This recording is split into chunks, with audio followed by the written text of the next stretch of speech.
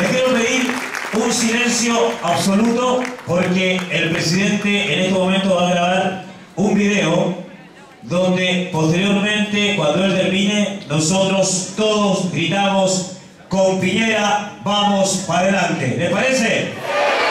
Él termina y vamos. Silencio, por favor, a la cuenta de...